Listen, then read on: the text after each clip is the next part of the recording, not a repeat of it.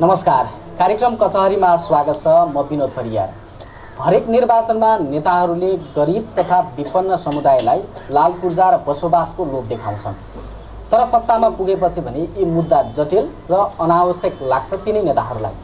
रूपन्देहीमा नौ लाख जनसङ्ख्यामध्ये झन्डै अस्सी हजार परिवारसँग लाल पूर्जा नभएको व्यवस्थित बसोबास आयोगको तथ्याङ्क छ।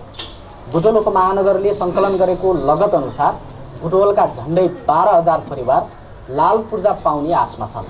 सङ्घ प्रदेश र स्थानीय तहको चुनावमा दलहरूको मुख्य एजेन्डा बनेको बसोबासको समस्या अब साँच्चैकै समाधान हुनु- हुन्छ त?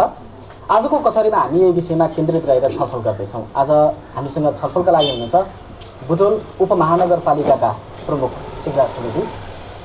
जिल्ला व्यवस्थित बसोबास आयोग रूपन्देहीका सदस्य कृष्ण पोखरेल। आजको कार्यक्रममा हामीले प्रदेश नम्बर पाँचका भूमि व्यवस्थापन कृषि तथा सहकारी मन्त्री आरती पौडेललाई निमन्त्रणा गरेका थियौँ। तर उहाँ आजको यो कार्यक्रममा आउनु भएन। बुटोल बुद्धनगर स्थित तिनाउ खोला किनारमा रहेको शहीद प्राथमिक विद्यालयमा तयार हुँदै गरेको आजको यो कार्यक्रममा बुटोल र यस आसपासका झन्डै साठीजना सर्वसाधारण सहभागी हुनुहुन्छ। कोही उभिनु भएको छ कोही बस्नु भएको छ र हामी यो रुखमुनिको यो शीतल छारीमा आजको यो कार्यक्रम यहाँहरू सबैजनालाई हार्दिक स्वागत छ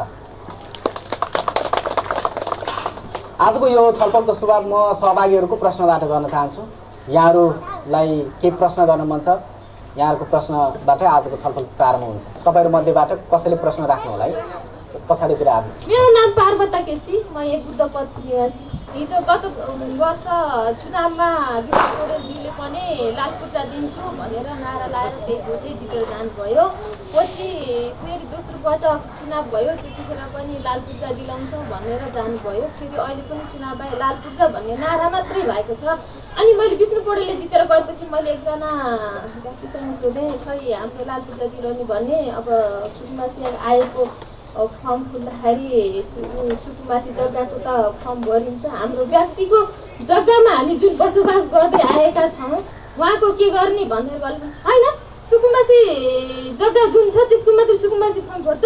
व्यक्तिको त हामीसँग सरकार हुन्न भनेर भन्नुभयो। यसलाई तपाईँले कसरी हेर्नु भएको छ हो। म उन्साठी सालदेखि यो तिनीहरूको खोलाको नजिक खोलाको छेउमा छु र तिन अ, के उन्साठी सालमा हामीले कसैको खेतीपाती गोडमेल गरेर बसेनौँ र कसैको साल पनि हामीले दिएनौँ किनभने कसैको तिउन तरकारी अनि मकै गहुँ धान हामीले गोडेर बसेका होइनौँ। अनि अडसठी सालको मरुभूमि स सत्ताइस सालको मरुभूमिमा ढुङ्गा र माटोसित लड्दै आजसम्म उन्साठी सालदेखि आजसम्म म आउँदैछु। त्यस कारणले मैले साउल चिन्दैन र म हामी अनि जुन चाहिँ नि तपाईँहरूका नाम कम्प्युटरमा हालिसकियो र घर भन्नुभएको छ त्यसलाई आशा राख्दै उपमेयर ज्यूसँग हामी फेरि हामीले साउल चिन्ने छैनौँ र उपमेयर उप हाम्रा मेयर साहबलाई चिनिन्छौँ भन्दै मेरो कुरा तपाईँलाई लाल पूर्जा चाहियो भन्ने। म यस सुकुम्बासीमा सिजननगर बुद्धनगर। दुर्गाटोल बजुवा किनापाते चारैतिर हाम्रो सुकुम्बासीहरू बस्तीहरू बसिरहेका छन्। र सबैलाई थाहा भएको कुरा हो कति अस्तव्यस्त छ भन्ने कुरा। र अर्को कुरा हामीले सुकुम्बासी जनताहरूमा पहिलो पोइन्ट के छ भने हामीले काम गर्न भनेर चाहिँ खोज्छौँ। काम गर्नेहरू चाहिँ गर्छौँ गर्छौँ भने जस्तो सरले भन्नुभयो। हामीहरूलाई यहाँको जनताहरू लिएर हामी काम गर्छौँ भन्ने कुराहरू गर्नु छ। अनि हाम्रो मेयर साहबलाई पनि यो कुरा थाहा छ टोल विकास समिति गठन भइरहेको छ भन्ने कुरा। र न नगरपालिकाले नै गठन गर्ने हो। र सरहरूले भन्नुहुन्छ हामीलाई अझ यहाँको प्रतिनिधिहरू चाहिन्छ भने प्रतिनिधिहरू त हामी त खडा छौँ नि। सरहरूले गर्नुपर्ने कामहरू चाहिँ प्रतिनिधिलाई जतिखेर नगरपालिकामा पढाउनुहोस् हामी प्रतिनिधिहरू आइरहेको छौँ। यही भन्दै मेरो सधैँ धन्यवाद। म यही बुटोल एघार प्रगति नगर बस्ती विकास अन्तर्गतमा त्यहाँ रहेर स्थानीय बनेर बसिरहेको छु। र हामीले के बुझेका थियौँ भन्दा चुनावमा चुनावका नारा धेरै सुन्यौँ। धेरै नेताहरू पनि आउनुभयो लाल पूजा दिन्छु भन्नुभयो। तर ठिकै हो बच्चा जन्मिनको लाई पनि समय लाग्छ। समयअनुसार हामीले गर्छौँ पनि भन्नुभयो। त्यो त्यो कुरालाई त्यहाँ हाम्रो दुविधा छैन। तर हाम्रो फेरि सुकुमासी आयोगबाट अध्यक्ष आएर चाहिँ हाम्रै गाउँ बस्तीतिर आउनुभएको थियो। सायद प्रत्येक बस्ती बस्तीमा पनि घुम्नुभयो होला। हामीले दुई तिन भित्रमै दुई तिन महिनाभित्रमै चाहिँ लाल पूर्जा दिन्छौँ भन्ने आश्वासन दिनुभएको छ। र यो नगरपालिका नगरपालिकाले गर- गर्ने हो अथवा सुकुम्बासी आयोगको अध्यक्ष लगायतको टिमले गर्ने हो। वन विभागको कर्मचारी अ, नापीको कर्मचारी त्यसपछि एलडिओ सिडिओ लिएर हामीले काम गर्छौँ भनेर भन्नुभयो यो जिम्मा प्रदेश सभाको हो कि केन्द्रीय सभाको हो कि यो यो कुरा जान्न जनतालाई उत्सुक छ यो पनि प्रश्न पारिदिनु होला। फेरि अब सरकार नढल्दै आयोग बनिएको छ सरकार ढलिसकेपछि फेरि यो आयोगले गर्छ भनेर जनतालाई यो कौतूहलमा राख्ने मात्रै हो कि यो गरेर देखाउने यो पनि प्रश्न पारिदिनु होला। नमस्कार म महेन्द्र जोशी। मैले एउटा सानो प्रश्न राख्न चाहन्छु। कृष्ण पोखरेलज्यूलाई उहाँ वकिल पनि हुनुहुँदैछ। हाम्रो यस बुद्धनगरमा जीविस लगायत साउको जग्गा पनि छ धेरै छ। र साथै फेरि घोलाउरो पनि छ। घोलाउरोमा के सुन्न आएको छ भने यो घोलाउरोमा तपाईँहरू बस्न मात्रै हो। कहिल्यै पनि तपाईँहरूले लाल पूर्जा पाउने आशा नगर्नु होला भनेर सुन्नमा आएछ। यसमा अब हाम्रो वकिल सरले यसमा पस्याइदिनु होला भन्ने आशा राख्दछु। धन्यवाद सर। हजुर सबैलाई मेरो नमस्कार। मेरो नाम कृष्णमान कुँवर। म यहाँ दुई हजार साठी सालदेखिको बासिन्दा। यहाँ यस्ता भेलाहरू धेरैचोटि भए लालपुरा दिने आउनु जाने धेरै भयो। तर अहिले आज मेयर साहब आउनुभएको छ। म म उहाँलाई कुरा राख्न चाहन्छु। यहाँ सबभन्दा पहिला जिनिसको छ्यालिस कट्ठा जग्गा। त्यसको बसोबास गरिरहेको हामी दस बाह्र वर्ष यहाँ भयौँ। त्यसमा केही हाम्रो आधिकारिक जनता पाइन्छ कि पाइँदैन त्यो स्पष्ट गरिदिनु होला। त्यसै गरिकन यहाँ साहुहरू सुरेन्द्र अग्रहरीको जग्गा पनि त्यति नै छ चालिस बिघा चालिस रोप कट्ठा अनि यहाँ विज्ञहरूको छ त्यसरी। कसैमा लाल छ त कसैमा नाभीमा। दुई हजार बाइस सालमा दर्ता भएकोसम्म पाइएको छ। ऐलानी छ त्यसमा खएर जग्गा देखाइएको छ। व्यक्तिले तिरो तिरिरहेको छ। स्वयं स्कुल जीविसको जग्गामा पर्छ। नेपाल सरकारबाट यसरी कालो पत्र गर्न लगानी भएको छ तर हामीलाई यहाँ बस्ने बासिन्दालाई घर धुरी करसम्म लिएको छैन। हामीलाई चाहिँ सुविधाबाट वञ्चित गराउने किन भएको छ? यहाँ हामी सबै अशिक्षित छौँ पढालेखाका छैनौँ निमुखा जनता छ तिनीहरूलाई सबै झुटाउने काम भएको छ र अहिले म मेयर साहबलाई म अनुरोध गर्दछु यो अब हाम्रो चाहिँ सबै चुनावबाट आउनु भएको सम्पूर्ण नेतागणहरूलाई म अनुरोध गर्दछु जसरी हुन्छ यो बुद्धनगरलाई अब पार लगाउनुपर्छ। तपाईँले दिएर मिल्दैन भने साउर र हाम्रो पनि वार्ता बनाइदिनु वार्ता गराइदिने व्यवस्था मिलाइदिनु होला भन्ने मेरो अनुरोध गर्दै हजुरहरूसँग बिदा हुन्छु। धन्यवाद सर। जनताको कुरा सुन्नुभयो। उहाँहरू चाहिँ लाल पूर्जा कहिले पाइएला भन्ने उपमहानगरपालिका वार्ड नम्बर एघार बुद्धटोलमा आयोजित यस कचहरीमा आफ्नो प्रश्न राख्नुहुने पार्वता केसी र म कृष्ण मानपुङजीलाई हार्दिक धन्यवाद ज्ञापन गर्न चाहन्छु। पार्वताजीले उठाउनुभयो इतिहासदेखि वर्तमानसम्म जनताका नाममा राज्य सत्ताबाट सधैँ झुक्याउने भ्रम फैलाउने काम भयो। हामी विश्वसनीय हुन सकेनौँ। विगतका दुई तिनवटा चुनावमा पनि निर्वाचन जितेपछि लाल पूर्जा दिने कुरा भयो तर अहिलेसम्म लाल पूर्जा हाम्रो हातमा आएन। हाम्रो बसोबासको कुनै टुङ्गो भएन भन्ने कुरा उठाउनु भएको छ। त्यसरी नै त्यही प्रसङ्गको र उहाँको र कृष्णमानजीको प्रश्न जोडिन्छ। यसमा दुईवटा छन्। हामीसँग अव्यवस्थित बसोबास भाषी सुकुम्बासी भूमिहीन सुकुम्बासी र अव्यवस्थित बसोबासी दुई प्रकृतिका दाजुभाइ दिदीबहिनीहरू हुनुहुन्छ। यो कुरा सत्य हो। त्यसभित्र नेपाल सरकारको सार्वजनिक ऐलानी पर्ती नदी उकास क्षेत्रमा बसेका एक थरी हुनुहुन्छ भने एक थरी जिल्ला विकास समिति नेपाल सरकारको सिँचाइ विभाग र व्यक्तिका लाल पूर्जामा बसोबास गरेको प्रकृति पनि छ। दुई प्रकृतिको हाम्रो भोगाधिकारको अवस्था छ। नेपालको कानुनले यहाँ हाम्रो साहब पनि सदस्य मात्रै होइन। कसैको लाल पूर्जाको जमिनमा घर बनाएर धेरै लामो समय बसिसकेपछि प्रचलित नेपाल सरकारको चलन चल्तीको दरले निज व्यक्तिले त्यो पैसा सम्बन्धी साउलाई बुझाएर उसको सन्धि सर्पण समेत खोल्ने गरी निजलाई त्यहाँ बसोबास बस्न दिने कानुनी व्यवस्था। अब त्यो त कानुनी भयो कि? उहाँको बताउँदैछु। तपाईँले बताउँदैछु। त तपाईँले पनि आफै घोषणा म बताउँदैछु बताउँदैछु। कुरै यहाँ मसँग जोडिएछ अब हामीले ऐलानी यो पनि स्थानीय सरकार हो। स्थानीय सरकारले विधि र व्यवस्थाभन्दा बाहिर गएर काम गर्न मिल्दैन। हामी ऐलानी प्रति नदी उकास जति पनि छ त्यसको पहिला अभिलेख लिएका छौँ।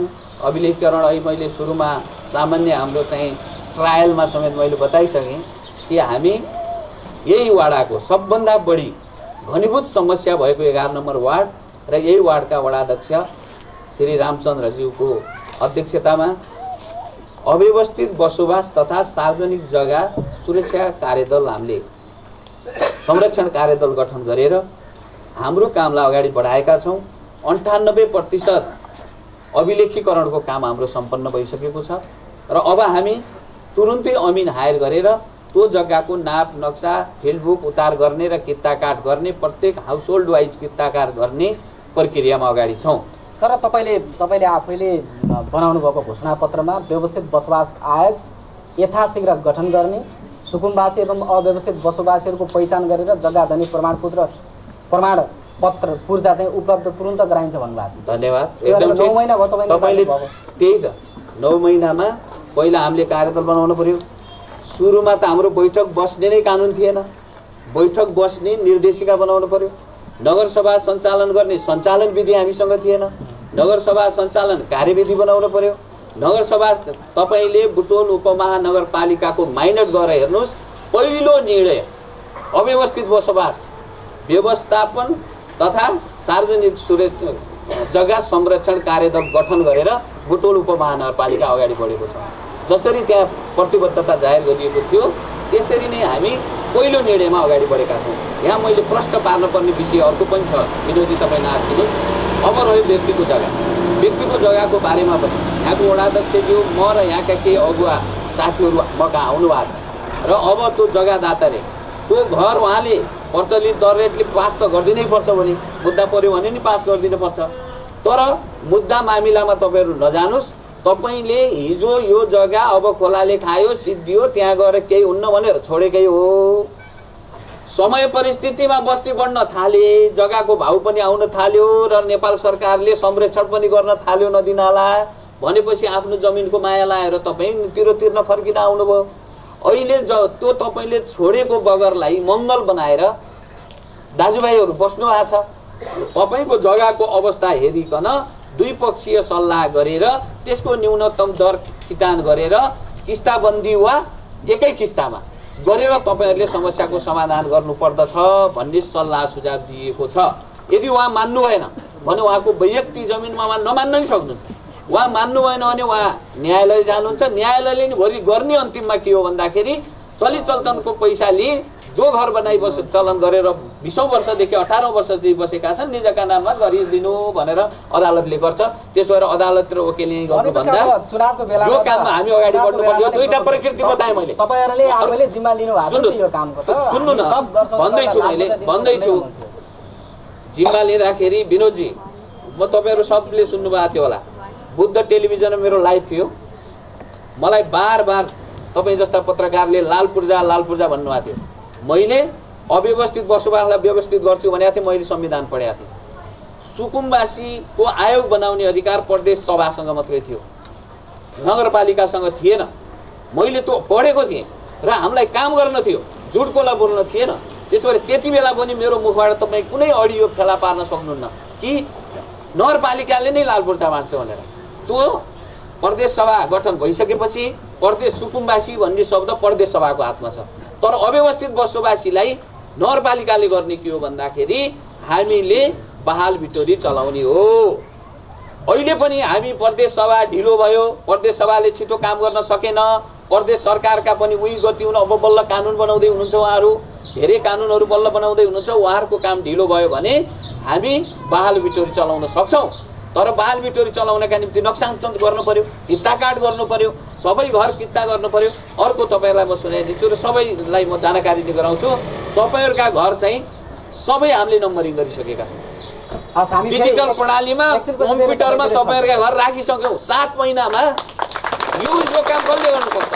र नेपाल भोलि कुनै नगरपालिकाले अन्ठानब्बे प्रतिशत लागत लेखेका छ भने मलाई देखाइदिनुहोस् कि बुटोल उपमहानगरपालिकाले पहिलो प्राथमिकता दिएर अन्ठानब्बे प्रतिशत लागत पहिलो बैठकमा त तिन महिनामा गर्छु भन्नुभएको छ। तिन महिनामा तिन महिनामा भनेको। बाह्र हजार घर रहेछ नि त हजुर। त्यही त भनेको।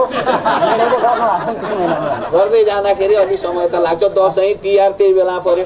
उहाँहरू नै दसैँ तिहार मान्न हिँड्नुभयो के गर्ने। म जिल्ला बसोबास आयोग रूपन्देहीका सदस्य कृष्ण पोखरेल छु अब तपाईँहरूको यो व्यवस्थित बसोबास आयोग छ। यो नाम मात्रै व्यवस्थित हो कि काम पनि व्यवस्थित हुन्छ? धन्यवाद। आज यो जागरण एफएमबाट यो कचहरी मार्फत यहाँ जनता सामान्य हाम्रो आयोगका कुराहरू राख्न दिनुभएकोमा म जागरण एफएमलाई धेरै धेरै धन्यवाद दिन चाहेँ र यहाँ उपस्थित सम्पूर्ण दाजुभाइ दिदीबहिनीहरूलाई म मेरा कुरा र शिवराज दाईले भन्नुभयो उहाँको कुरा पनि हाम्रा कुरा के कसो हुन् भन्ने कुरो तपाईँहरूले छुट्याउनु हुनेछ भन्ने कुरो म आग्रह गर्न चाहेँ। र उहाँले सोधेका कुरा जस्तो के भने हाम्रो यो आयोग साँच्चै आयोग मात्रै हो कि काम गर्ने पनि हो भनेर भन्ने कुरा गर्नुभयो। र मैले के भन्न चाहन्छु भने हामी रूपन्देहीमा यो आयोग गठन भएको आज एक महिना दस दिन मात्रै पुरा भइसकेको छ। यो कमिटीले यो व्यवस्थित बसोबास आयोग कमिटीले पूर्णता पाएको हाम्रो आज एक महिना दस दिन मात्रै भइरहेको अवस्था छ। र एक महिना दस दिनको दौरानमा हामीले जनताका माझमा गएर तपाईँको यहाँउति पनि हामी आइसकेका छौँ। यहाँ म नआयौँला र अर्को ठाउँमा म गयौँला र धेरै ठाउँमा हाम्रा साथीहरू घुमिसक्नु भएको छ र डाटा पनि लिइराख्नु भएको छ र हामीले व्यवस्थित बसोबास आयोग रूपन्देहीको समिति मिटिङ बसेर यथाशीघ्र हामीले नब्बे दिनभित्रमा हामीले धेरै थोरै छैन नब्बे दिनभित्रमा थोरै धेरै लाल पूर्जा वितरण गर्न हामीले हात हाल्नेछौँ र हामीले दिनेछौँ भनेर हामीले प्रतिबद्धता जाहेर गरेका छौँ। हामीले अस्ति पत्रकार सम्मेलनमा पनि भनेका छौँ र यदि सबैले सहयोग गर्यो भने स्थानीय निकाय र राजनैतिक दल र नागरिक समाज र पत्रकार साथीहरू सबैले यदि सहयोग गर्नुभयो भने र यहाँ जो बसोबास बसिरहनु भएको छ उहाँहरूले आफ्नो माग पुरा गर्नको लागि आफ्नो माग राख्नको लागि नडराइकन नहिचकाइकन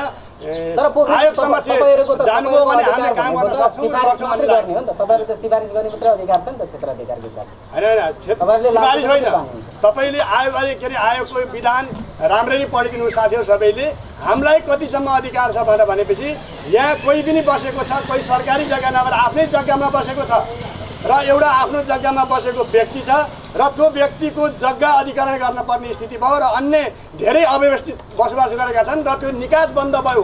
त्यो जग्गाबाट ती अव्यवस्थित बसोबासलाई हिँड्न जान र त्यहाँ यी पूर्जाहरू बाँड्नको लागि के अरे अवरोध भयो भने अप्ठ्यारो भयो भने त्यो जग्गा समेत के भने अधिकरण गरेर अथवा त्यसको सट्टामा सोध भर्ना उसलाई अन्त दिएर उसलाई उचित ठाउँमा दिएर त्यसलाई समेत अधिकरण गरेर अव्यवस्थित रूपमा बसोबास गरेका जनताहरूलाई व्यवस्थित गराउनको लागि कानुनले हामीलाई स्पष्ट रूपमा तोकेर पठाएको छ। यो लाल पूर्जाको पर्खाइमा रहेका जनतालाई लाल पूर्जा दिनुहुन्छ। हजुर कहिलेसम्म दिनुहुन्छ? मैले भनिसकेँ हामीलाई अहिले त हामी गत सरकारबाट हामी मनोनित भएका हौँ नियुक्ति भएका हौँ तपाईँहरूलाई सबैलाई थाहा होला यहाँ धेरै साथीहरूले हामीले यस्तै भन्दै हिँड्दाखेरि सायद यहीँ पनि हुनुहुन्छ होला साथीहरू यो आयोग वैधानिक होइन अवैधानिक हो। योसँग नलाग्नुहोस् तपाईँहरू नहिँड्नुहोस् भनेर पनि भनिरहनु भएको छ। साथीहरू यहाँ हुनुहुन्छ पनि होला। नभए पनि उहाँहरूले पनि यो कुरा सुन्नुहोस्। हामी अवैधानिक आयोग होइन वैधानिक आयोग हो। र हाम्रो आयोगको। सदस्यमा अहिले हामी जग्गा वितरण गर्न यदि आयो भने यहाँको सम्बन्धित ठाउँको जनप्रतिनिधिलाई पनि हामीले राख्ने पाउने हाम्रो अधिकार छ। र आयोगले के भनेको छ भने सम्बन्धित ठाउँको जहाँ हामीले जग्गा वितरण गरिन्छ। अव्यवस्थित रूपमा बसोबास गरेका जनता छन्। तिनीहरूलाई लाल पूर्जा दिनको लागि त्यहाँ भएको जनप्रतिनिधिलाई समेत हामीले साथमा लिएर हिँड्ने हो। हामीले उहाँहरू मार्फतै हामीले गर्ने हो। हामी भनेर एउटा सरकारले गर्यो भने त हामी होला हामीलाई नेपाली काङ्ग्रेस सरकारले हामीलाई गठन गरे होला। नेपाली सरकार नेपाली काङ्ग्रेस सरकार छँदाखेरि हामीलाई के भने नियुक्ति गरेर तर हामी काम गर्दा के भनेपछि नेपाली काङ्ग्रेसले भनेअनुसार गर्ने होइन कि जनता कहाँ छन्? जहाँ अव्यवस्थित रूपमा बसेका छन् जोसुकै जनता हुन् त्यहाँ पार्टीगत रूपमा मतलब छैन हामीले ती जनताको समस्या समाधान बिचमै रोकेँ हजुर यस्ता आयोगहरू नेपालमा त धेरै वर्ष अगाडिदेखि भइरहेछन् यी आयोगहरू भनेको नेतालाई व्यवस्थापन गर्ने लगत सङ्कलन गरे चाहिँ गर्ने अनि बिचमा काम छोड्ने हिँड्ने यो त विगतमा यही देखियो। विगतकै यही प्रक्रियाले गर्दा जनताले आज यो कार्यक्रम राख्नुभयो नि तपाईँहरूले। विगतका का- आयोगहरूले आउने जाने कामै नगर्ने धेरै पटक भए ती कागजहरू अहिले हामीले खोलिरहेका छौँ। जस्तो गत यही रूपन्देही जिल्लामा पनि हामीभन्दा पहिला तिनवटा आयोग आए।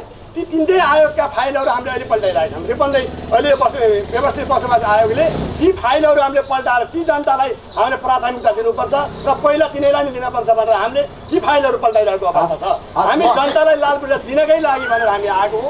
हामी म नेता होइन। नेतालाई व्यवस्थापन गर्ने कुरा भयो नि तर म नेताको हिसाबले आएको होइन। म एउटा कानुनी व्यवसायको हिसाबले म एउटा अधिवक्ता तपाईँहरूलाई परेका पिरमर्काहरू र तपाईँहरूलाई परेका समस्याहरू पनि समाधान गर्नको लागि पनि म राजनीति नियुक्ति त एउटा के भनेपछि एउटा परिपाटी हो। एउटा हुनैपर्ने अवस्था हो। र हामी राजनीति नियुक्ति चारजना मात्रै हो। चारजना मात्रै राजनीति नियुक्ति यहाँ हुँदाहुँदै छजना त हाम्रो के भनेपछि पदेन सदस्यहरू हुनुहुन्छ जस्तो कि यस जिल्लाको प्रमुख जिल्ला अधिकारी हाम्रो पदेन मेरो पदेन सदस्य हो हामी मसँगै हो। र जस्तो मालपोत प्रमुख पदेन सदस्य डिएफओ हुनुहुन्छ वनको उहाँ पदेन सदस्य एलडिओ पदेन सदस्य नापी प्रमुख पदेन सदस्य भएर हामी चारजना र उहाँहरू पाँचजना छजना भएर हामी के गरे भने नौ सदस्य कार्य समिति छ हाम्रो र यो हाम्रो कार्य समितिले धेरैभन्दा धेरै छिटै हामीले तपाईँको माझमा हामी आएर यहाँको हामीले लगत लिनको लागि हामीले नेपाल सरकार र आयोगसम्म चाहिँ हामीले के भनेपछि अनुमति मागिसकेका छौँ र त्यो अनुमति पनि हामीले पाइसके पाइसकेको अवस्था छ। तपाईँलाई त देखाउन पर्यो नि म मसँग यही अहिले पनि आयोगले हामीलाई अनुमति दिइसकेको छ। यी अव्यवस्थित रूपमा बसोबास गरेका जनतालाई छिटोभन्दा छिटो तपाईँहरूले लगत लिएर तपाईँहरूले उहाँलाई पूर्जा बाँध्नुहोस् भनेर हामीलाई आयोगले समेत हामीलाई अहिले धन्यवाद सहित एउटा के भनेपछि पत्र दिएको छ र यो पत्र तपाईँहरूलाई म के भन्न चाहन्छु भने अहिले बत्तिसवटा जिल्लामा यो आयोग गठन भएको छ। बत्तिसवटा जिल्लामध्ये एक नम्बरमा रूपन्देही जिल्ला परेको छ। किनभने अहिलेसम्म कुनै पनि जिल्लाबाट यो व्यवस्थित बसोबास गर्नको लागि बसेका जनताहरूलाई लगत लिनको लागि कसैले अनुमति मागेको अवस्था छैन। तर हामीले के गरेका छौँ भने अहिले आयोगसँग आयो अनुमति मागेर त्यो अनुमति पनि हामीले प्राप्त गरिसकेका छौँ। र हामीले तपाईँ यही जनताका माझमा यो एफएम मार्फत मैले के भन्न चाहन्छु भने हामीले एक महिनाभित्रमा मैले धेरै भन्दैन एक महिनाभित्रमा सबैले सहयोग गर्नुभयो भने लाल पूर्जा त एकै महिना तयार हुँदैन। तर तपाईँहरूलाई को कहाँ बसेको छ को कसको जग्गामा बसे कति जग्गामा बसेको छ र कसको घर कतना छ त्यो सम्पूर्ण जिम के भनेपछि लगत लिएर टोकन हामीले तपाईँहरूलाई स्थानीय निकाय मार्फतै यो आयोगको नामबाट तपाईँहरूलाई हामीले टोकन वितरण गर्नेछौँ त्यो टोकन लिने बेलामा तपाईँहरूले के भनेपछि आफ्नो अधिकारको लागि आफै पनि लड्न पर्ने हुन्छ तपाईँ पनि खोजनीति गर्नु होला भन्ने म अनुरोध गर्न चाहन्छु बुटोलको महानगरपालिकाका प्रमुखज्यू अब आयोगले त एक महिनामै टोकन बाँध्ने हो। तपाईँहरू त निर्वाचित भएकै नौ नौ महिना बितिसक्यो। कहिले बाँध्नुहुन्छ टोकन धन्यवाद। अब यो मैले सुरुमै भने म चुनाव नलड्दा पनि म गफ गर्ने मान्छे होइन। म र गफ गर्ने काम नगर्ने पार्टीबाट आएको मान्छे पनि होइन। त्यसो भएको हुनाले हामीले त अहिले मैले भने कि यी सबै घर त कम्प्युटरमा हालिसक्यौँ। सबैको घर नम्बर हामीसँग छ। नाम भनेर त्यसैका निम्ति त तयारी गर्नु पर्यो। यो लाल पूर्जा भनेको के हो भने अहिले मैले प्रष्ट पारिसकेका छु। यी तिनवटा सरकार के हुन् पहिला बुझ्नु पर्यो। उहाँ वकिल आफै हो उहाँले पनि संविधान बुझ्नु भएको छ। सहकार्य समन्वय र सहअस्तित्वमा आधारित तिनवटा सरकार। अस्तिको सरकारले के गर्यो? मलामा जाने बेला घाटा जाने बेला निर्णयहरू छोडिदियो। निर्णय गर्ने भए त तेह्र महिना अगाडि पहिलो प्राथमिकता राख्नु पर्दैन। त्यो काम गर्छु भनेर गरे हो। यो प्रष्ट कुरा। अब अब सात दिनपछि आफू जानु छ अनि आयोग गठन गरेर लाल पूर्जा बाँड्नु है तिमीहरूले ल मेरो नाम काट्दै काट्दै लाल पूर्जा बाँड्नु उहाँहरूलाई नै अप्ठ्यारो छ। नियुक्ति दियो राज्यले नलिउँ पनि भएन। अब स्थानीय तहसँग प्रदेश तहसँग सरोकार नराखिकन यो काम अगाडि बढ्दैन। संविधानमा के छ भने सुकुम्बासीको व्यवस्थापन प्रदेशलाई भनेको छ। प्रदेशको अनुसूचीमा छ। सङ्घको अनुसूचीमा छैन। प्रदेशको अनुसूचीमा छ। प्रदेशले गर्ने भनेको छ। समन्वय त प्रदेशले गर्ने हो र यो प्रदेशले गठन गरेको आयोगै होइन।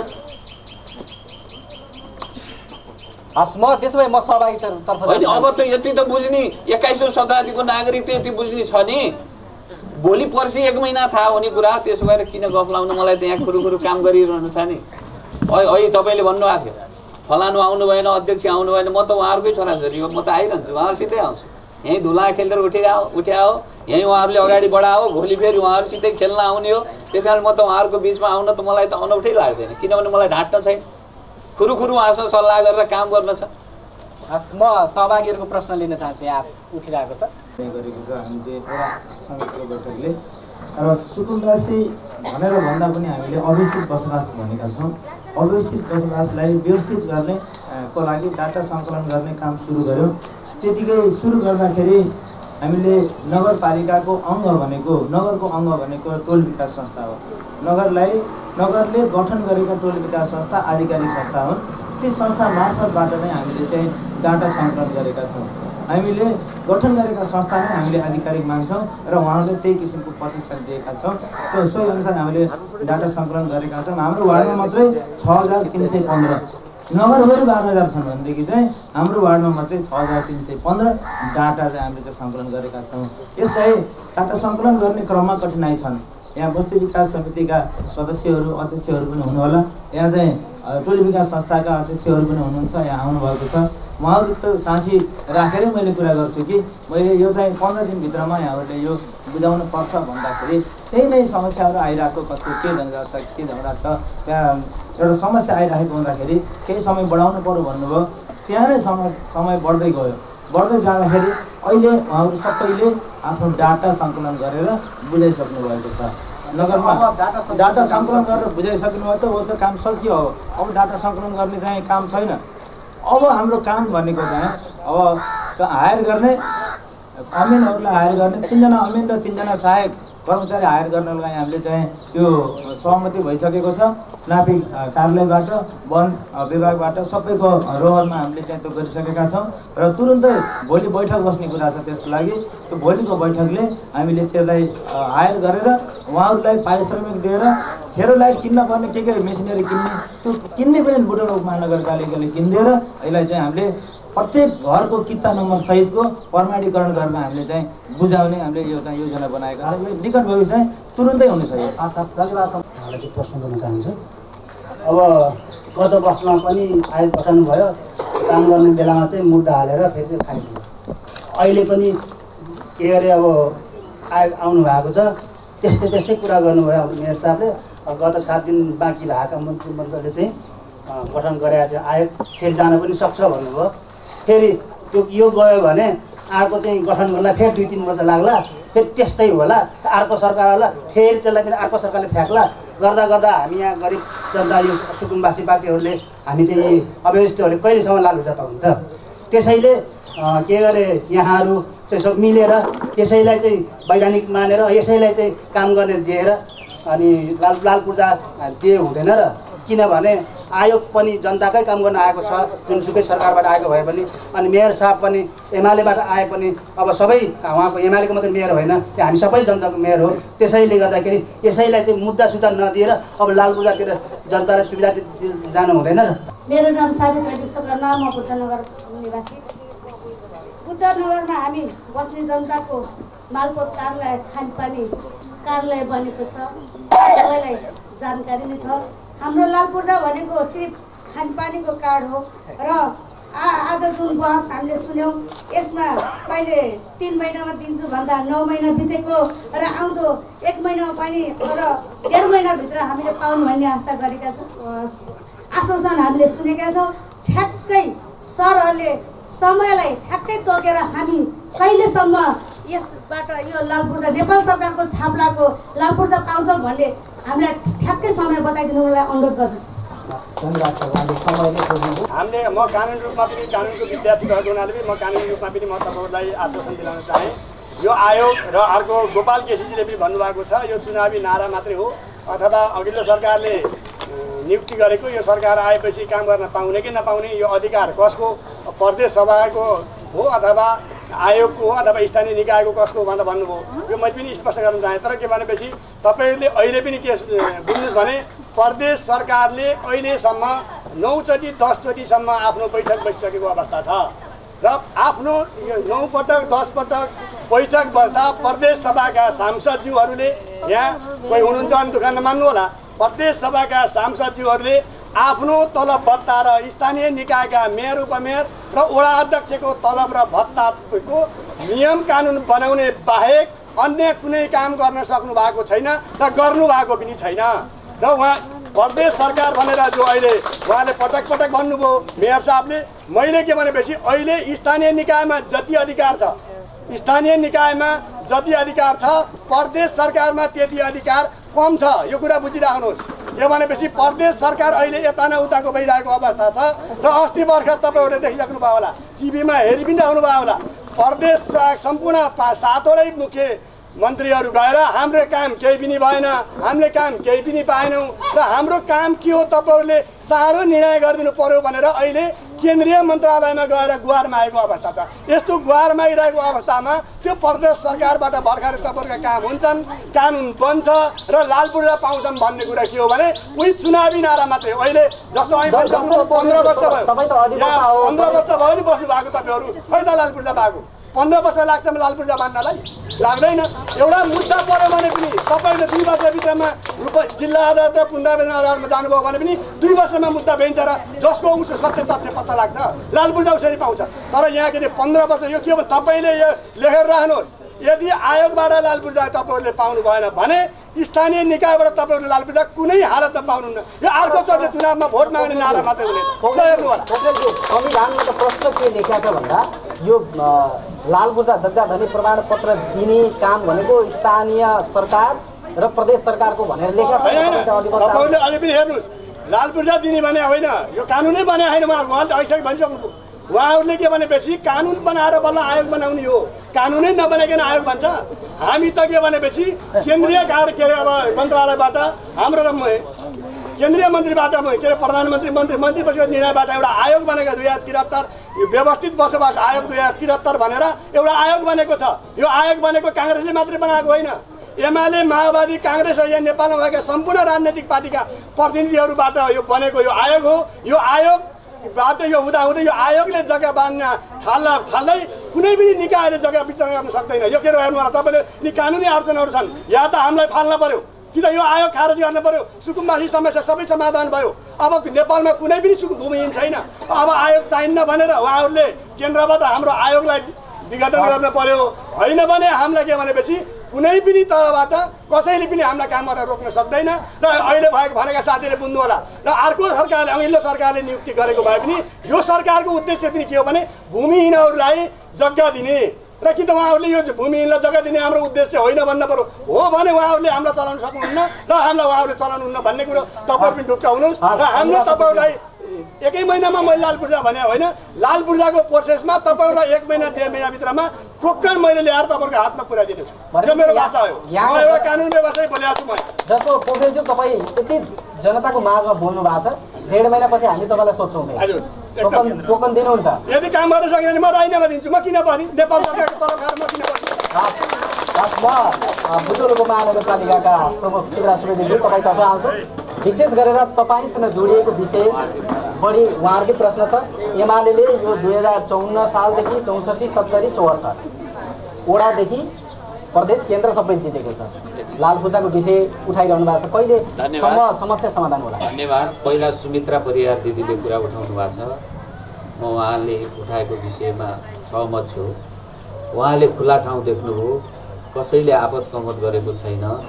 आफ्नो घरवास छैन। आफू ज्याला मजुरी गरेर पनि आएर एउटा झुप्रोमा भित्र कम्तीमा राति निदाउने र दुई छाक पकाएर खाने ठाउँ खोज्ने क्रममा यो गिटी बालुवा भएको ठाउँमा बस्नु हो बल्ल सबै बस्ती बसिसकेपछि साउ आयो अब त्यो जग्गा के गर्ने भन्नुभएको छ यसको उत्तर मैले अहिले दिइसकेको छु र पुनः दिनु पर्दैन। तपाईँको समस्यामा बुटोलुको महानगरपालिका साथमा छ र अहिले मैले भने यहाँ हाम्रो चाहिँ कृष्णजी पनि वकिल हो त्यस्ता जग्गाहरूको हकमा हामी त्यही बाटो अपनाउने हो। त्योभन्दा अर्को बाटो पनि छैन त्यही बाटो अपनाउने हो। व्यक्तिको सम्पत्ति सोझै लिन सरकारले मिल्दैन त्यसको अधिकरण प्रक्रिया छ क्षतिपूर्तिको प्रक्रिया छ।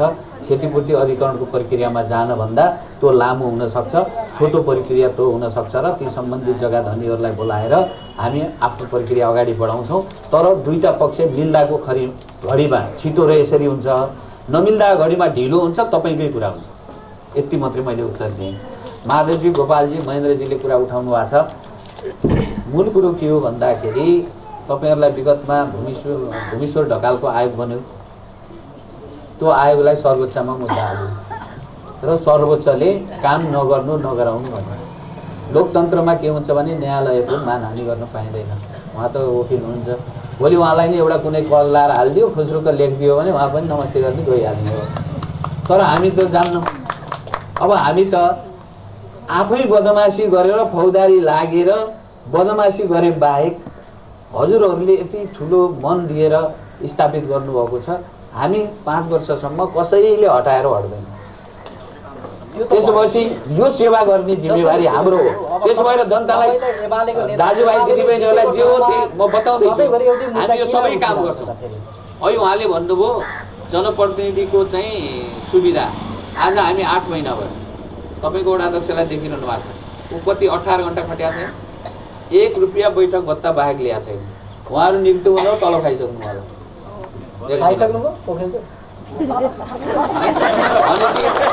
अनि बन्द गरेकोमा उहाँहरूलाई त्यत्रो ढाड छुटिहाल्नुपर्ने कुरा होइन होम टास्कका आधारमा।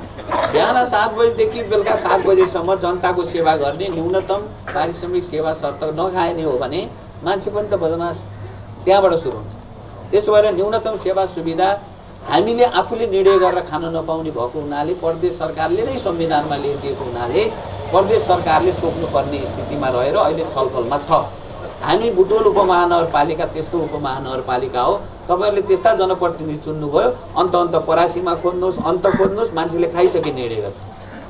कानुन नबन्दै खाइसके। तर हामी तपाईँहरूले तपाईँहरूको इज्जत बढाएका छौँ कस्ता प्रतिनिधि चुनेछन् बुटोलका जनताले भन्दाखेरि कानुन नियम विधिपूर्वक हिँड्ने आफू खुसी आफ्ना लागि निर्णय नगर्ने भन्ने कुराको सन्देश पनि बुटोल उपमहानगरपालिकाले दिएको छ। अर्को कुरा अब बुटोल उपमहानगरपालिकाले तुरुन्तै अमिन हायर गर्छ। अनि हामीसँग पनि नापी मालपोत सबै हाम्रो हाम्रो अध्यक्षको कार्यदलमा छन्। हामी त्यो काम गरिसकेपछि संविधानले प्रदेश सरकारलाई सुकुम्बासीको व्यवस्था भनेको छ अव्यवस्थित बसोबासीलाई भनेको छैन त्यसो भएर अव्यवस्थित बसोबासीलाई हामी के गर्न सक्छौँ त भन्दा बुटोल उपमहानगरपालिकाले अहिले गर्ने भनेको बाल बिटोरी चलाउने हो। त्यो प्रक्रियामा हामी अगाडि बढ्छौँ। र भोलि प्रदेश सरकारले सुकुम्बासी व्यवस्था अथवा यही आयोगलाई प्रदेश सरकारले अहिले उहाँहरूकै आयोगलाई नै त्यही आयोगलाई अविच्छिन्न अगाडि बढाउनु र तपाईँहरूसँग भएको डाटामा चाहिँ सामान्यकरण गरेर अगाडि बढ्नु भन्ने अवस्था आयो भने पनि त्यो पनि ठुलो कुरो छैन। हामीसँग डाटा छ उहाँहरूले दुःखै गर्नुपर्छ हामीले सबै व्यवस्था गरेका छौँ हामीले बजेट छुट्याएका छौँ चालिस लाख बजेट छुट्याएको छु मैले अव्यवस्थित बसोबास क्षेत्रलाई व्यवस्थापन गर्न भनेर। अमिनहरूलाई तलब दिनु पर्यो ती डोरा तान्नेहरूलाई चाहिँ पारिश्रमिक दिनु पर्यो अनि त्यसपछि यो काम गरिएको छ। बरु एउटा सडक अहिले नबने नबनोस् भनेर। त्यो काम त नाप्न त पर्यो नि। यहाँ यहाँ हजुरले प्रश्न सोधेन तपाईँले प्रश्न सोधेर यहाँ क्यामेरामा फोटो खिचे जस्तो। तपाईँले फोटो खिच्नु ट्याग आयो प्रश्न त्यसका लागि त बाटो छुट्याउनु पर्यो। बाटाको अधिकार क्षेत्र छुट्याउनु पर्यो किता काट गर्नु पर्यो प्रत्येक नक्साङ्कन गर्नु पर्यो प्रत्येक घर उसका नाता छिमेकी अनि कसैका दाबी विरोध हुन सक्दछन्। ती सबै कुरा छुट्याउनु पर्यो र परिपक्व ढङ्गले कामलाई अगाडि बढाउनु पर्यो। त्यसो भएर मैले धेरै भनेको छु अर्को यहाँ एउटा कुनाबाट क्वेसन आएको थियो। अहिले उत्तर आएन। खोलाको किनारमा के गर्छौ भनेर भन्नुभएको छ। म तपाईँहरूलाई हात जोडेर यहाँ पनि अनुरोध र विन्ती गर्न चाहन्छु। तिनाउ र दानव नदी को किनारैमा बस्नुभएका? मैले धेरै ठाउँमा भाषण गरेर अथवा आफ्ना अभिव्यक्ति मार्फत भनेको छु। यो समाजले तपाईँहरूलाई लकेट्दा लकेट्दा लकेट्दा लकेट्दा खोलाको छेउमा गएर यति धरीमा तपाईँहरूले आफ्नो जीवनलाई ओत लगाएर बस्नु भएको छ। त्यो ठाउँ भविष्यमा कुनै पनि हिसाबले असुरक्षित हुने ठाउँमा अहिले तपाईँहरूले भौतिक सम्पत्ति बढी लगानी नगर्नुहोस्। हजुरहरूलाई खानेपानी बिजुली सेवा सुविधा हामी दिन्छौँ त्यसबाट वञ्चित गर्दैनौँ। तर त्यो नदीको अधिकार क्षेत्रको नजिकै तपाईँहरूले नै बुझ्नुहुन्छ नजिकै भनेपछि खोलो यति बढ्ने बित्तिकै कति भन्ने अब इन्जिनियरले हाम्रो प्राविधिकले टेक्निकल पर्सनले गर्छ। पहिलाको जस्तो धेरै नदी लिन पर्ने अवस्था छैन फेरि। त्यो पनि तपाईँ ढुक्क हुनु होला सुरक्षित क्षेत्र। यो सामान्य नागरिकले बुझ्छ कि सुरक्षित क्षेत्र र असुरक्षित क्षेत्र भन्ने। त्यो असुरक्षित क्षेत्र तपाईँहरूलाई हटाउनका लागि होइन। सेवा सुविधाबाट वञ्चित गर्ने होइन। कि त्यहाँको भोलि जन्मने बच्चा भोलिको वैज्ञानिक भोलिको राष्ट्रपति हो। त्यसलाई बचाउने कर्तव्य हाम्रो हो। राज्यको त्यसो भएको हुनाले त्यस्ता ठाउँहरूमा हामी सबै नदी उकास ऐलानी प्रति बाहिर जमिन निकालिसकेपछि तपाईँहरूलाई त्यहाँबाट हामी हटाउँदैनौँ फेरि। यो ढुक्क हुनुहोस्। तर नयाँ भौतिक सम्पत्ति त्यहाँ खर्च नगर्नुहोस्। नयाँ घर अब त्यहाँ नथप्नुहोस्। जसरी बस्नुहोस् त्यसरी मात्रै बस्नुहोस्। यो नगरपालिकाको तर्फबाट अनुरोध हो। म यहाँ पनि दोहोऱ्याउँछु। अस्ति नै मैले बुद्ध टोलमा यहीँ नै मैले तपाईँहरूलाई भनेर सहमति लिएको एक दुई। नयाँ अतिक्रमण हुन नदिनुहोस्। जुन टोलका टोल संस्था र सेक्टरबाट नयाँ वन अथवा सार्वजनिक ऐलानी प्रति नदी उकास अतिक्रमण भएको थाहा पाइयो त्यो ठाउँमा हाम्रो काम पछि जान्छ हस् म म सहभागीहरूतर्फै जान्छु यहाँ प्रश्न उठाउन आतुर हुनुहुन्छ। घर बनाइसकेका मेरो म त्यहाँ दुई हजार उन्साठी सालदेखि म बसिरहेको छु। भन्नाले घर बस्दा मेरो रोजगार व्यवसायको नाता म पारी गर्छु तर मेरो यहाँ आउनु जानु भइरहेको छ। अब यहाँ हाम्रो हामी उन्साठी सालदेखि यो ठाउँमा हामी बस्यौँ उन्साठी सालदेखि लगातार हामी जन हामी नेताहरूको पकेटको एउटा पैसा बनिरहेछौँ। किन भन्दा यसलाई जिताएर पठायो भने पै हाम्रो भोट पूर्जा आउँछ उसलाई जिताएर पठायो भने हाम्रो पूर्जा आउँछ उसलाई जिताएर पठायो भने पूर्जा आउँछ। भन्दा भन्दा हामी आज लगभग पन्ध्र वर्षको दौडानमा हामी लगाइरहेछौँ पन्ध्र वर्ष दौडानमा पुगेका छौँ स्थानीय निकायमा पनि अब हामी स्थानीय निकाय सरकार छैन। के गर्ने? अब हाम्रो स्थानीय निकायले जिताएपछि हाम्रै हुन्छ। भनेर यस्तो यस्तो कुरा गर्दै गर्दै आइयो।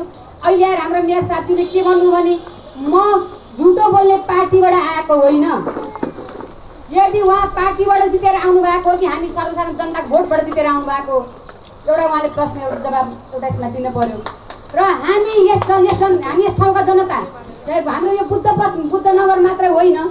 हाम्रो मजुवा छ टप मजुवा छ पारी पुज ऊ छ सौभाग्य के सुन्दर नगर छ सौभाग्य नगर छ। भएन माइतीमा पनि अव्यवस्थित बसोबास छ। त्यस्तै गरेर हाम्रो रूपन्देही जिल्लाभरि अन्त उता धेरै कुरा त जुन त देशैभरिको समस्या हो। तर पनि विशेष गरेर रूपन्देही जिल्लाभरि नै हामी यसरी बसेका छौँ। सबै ठाउँका नेताहरूले हामी यो पार्टीबाट आएका हौँ। अब आयोगले हामी फलानु आयोगबाट पार्टीबाट आएका हौँ। स्थानीय निकायले हामी फलानु पार्टीबाट यसरी आएका हौँ भने हामी जनता कहाँ जाने?